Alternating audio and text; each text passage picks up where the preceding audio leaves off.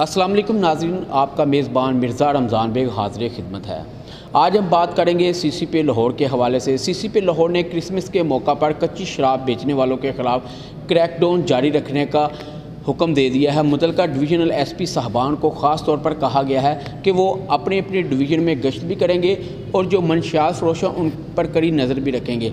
S H O उसकी ड्यूटियाँ लगाई गई हैं। कि वो मनशियात फरोशों के ख़िलाफ़ बड़े पैमाने पर क्रैकडाउन जारी करेंगे और कच्ची शराब बेचने वालों को किसी सूरत माफ़ी नहीं दी जाएगी, क्योंकि इससे पहले भी कई लोगों की हलाकतें हो चुकी हैं। और क्रिसमस के मौका पर आपको पता है कि कच्ची शराब लाहौर शहर के मुख्तलिफ़ इलाकों में वाफर मकदार में फ़रोख्त होती है, जिसके बस पहले से ही लाहौर पुलिस ने इंतज़ाम जो हैं वो मुकम्मल कर लिए हैं। D I G operation S S P operation Lahore C C P Lahore और दीगर जो एस पी साहबान हैं, उनके हमरा एक मीटिंग भी हुई है और वाज तौर पर ये अहकाम दिए गए हैं कि वो अपने अपने इलाकों में गश्त को बढ़ाएँगे, डोल्फन और पीरू फोर्स को भी ख़ास तौर पर कच्ची शराब बेचने वालों के ख़िलाफ़ मुतहरक कर दिया गया है और उनको वाज तौर पर कहा गया है कि कच्ची शराब बेचने वालों के ख़िलाफ़ क्रैकडाउन जारी रखें और इनको गिरफ़्तार करके इनके ख़िलाफ़ मुकदमा दर्ज किए जाएँ।